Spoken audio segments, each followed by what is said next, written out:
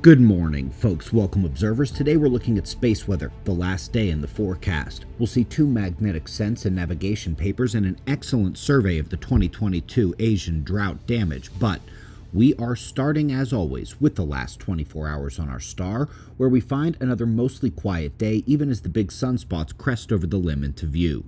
Coronal hole approaching center disk, plasma filament eruption threats around it, big ones actually. Let's take a look at the solar wind and the sunspots, starting with the plasma stream. Purple line has come down off its peak as we exit the last coronal hole stream. Geomagnetic conditions are quiet as plasma pressure returns to normal.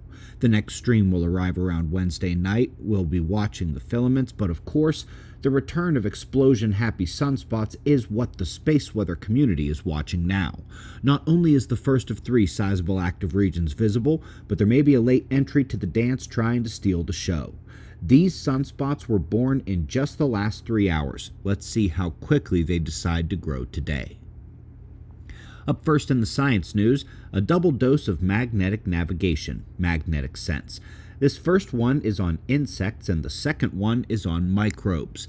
The takeaway isn't in the details of either of these papers, the experiment or the specific findings or the numbers. The takeaway is the reliance of multiple critical biospheric systems on Earth's magnetic field migration, foraging, reproduction, thousands of species outside of birds. The ongoing magnetic pole shift affects everything. Speaking of affecting everything, this is a survey paper on the details of the 2022 Asian drought.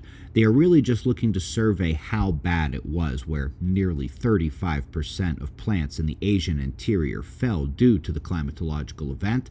But this is the exact kind of thing that over and over we have been saying to watch for. It's the exact kind of jet stream working and monsoon messing that can cause this kind of event, and it's exactly what we expect with the enhanced solar forcing driven due to the enhanced solar vulnerability of our planet in this ongoing magnetic pole shift.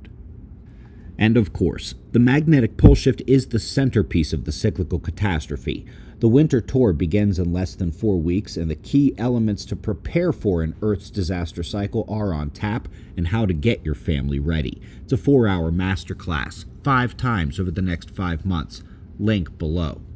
We only have a few events left this year at Observer Ranch. Observer Speed Dating 2.0 is coming up in a week, the 7th and the 8th and find your prepper princess or post-apocalyptic warlord.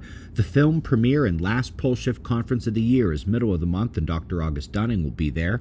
Several smaller family events to close out 2025 come out for the end of our rookie season. ObserverRanch.com. We greatly appreciate your support. We'll do this all again tomorrow. Right here, but right now it's 5 a.m. in the new Valley of the Sun. Eyes open no fear. Be safe, everyone.